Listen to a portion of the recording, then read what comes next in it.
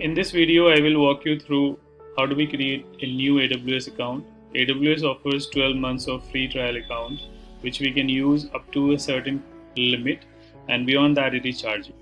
So AWS do not open everything for free. It keeps certain limit, and beyond that, it is chargeable. Let's create a new account with AWS. We'll click on create a new AWS account, and it will redirect us to AWS login uh, okay so it, it is redirecting us to sign up page. Here we will feed in our email id so let's feed in our email id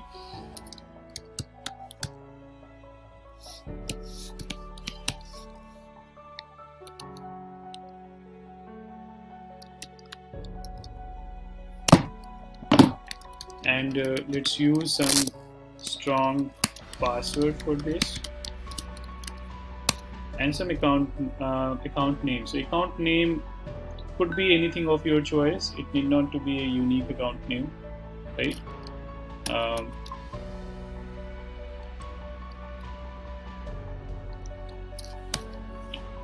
and let's click on continue. It is asking for security check.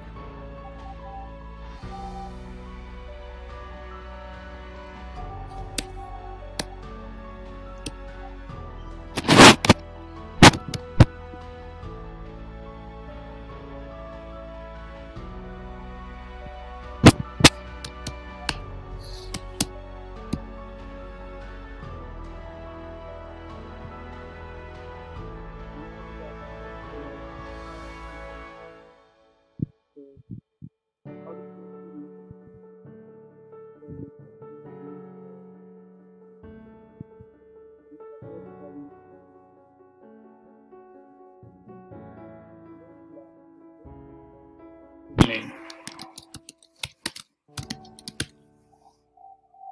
and phone number so you fill in all these details okay and check this option. I uh, have read uh, and agree to the terms of conditions and then click on continue.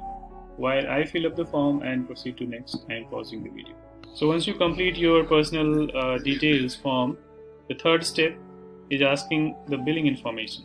So here you can fill in your credit card or debit card detail now, uh, AWS will never deduct any amount without your consent. So just for one-time verification, it will deduct 2 rupees from your account or maybe $1 from your account and it will revert back in 24 hours. Further, based on your consumptions, you will get monthly bill and unless you go ahead and make the payment, AWS will not automatically deduct. So you are free to fill in the details. There is no risk. So please fill it, fill in the details, right? And uh, once you fill in the details then it will ask you for the pan. If you don't have the pan number you can opt for no. All right? There is no um, harm in going ahead with without pan registration. So once once you complete this proceed to the next. While i am completing this step i am pausing the video.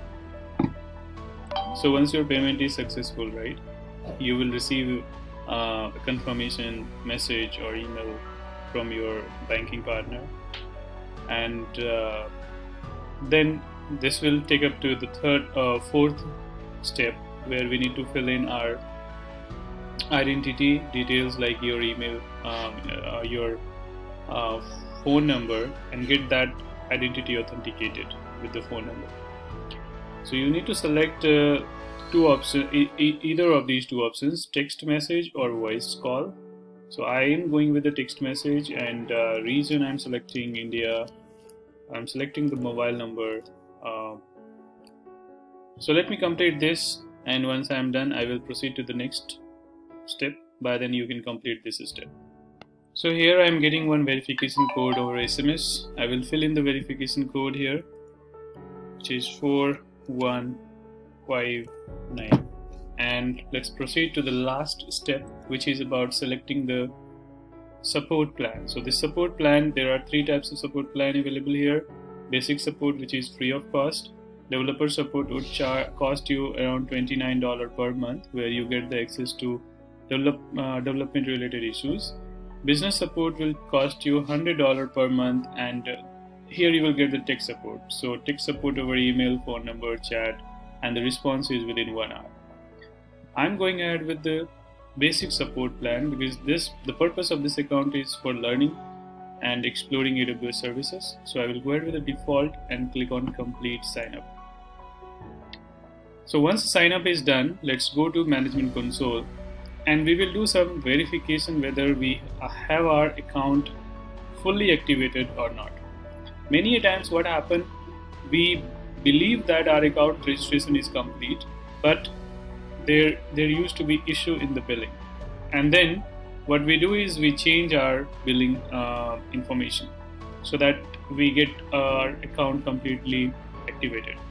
So here you let's select the role and uh, select the interest area and click on submit. And let, now let's click on sign in to console. This will redirect you to sign in page. Here you need to fill in your email ID and the password. So this, so whenever you log into AWS, it will redirect you to this page. One option is root login. So root login is the login through the account owner uh, credentials. Account ordered owner's credential will be the one who has registered for this AWS account, and that's where the email ID is required. So here you just need to fill in the email ID and uh, proceed to the next page where it will ask you for the password. Okay, so the credential that you set up in the first stage of registration for AWS account. I will give it. I will give my email ID here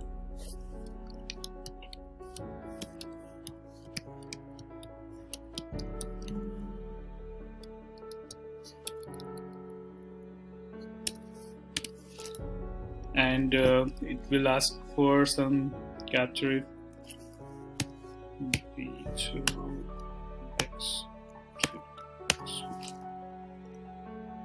and the password. Now this will log in to the snowflake page not snowflake aws page. This is our aws console and in this aws console many services are free.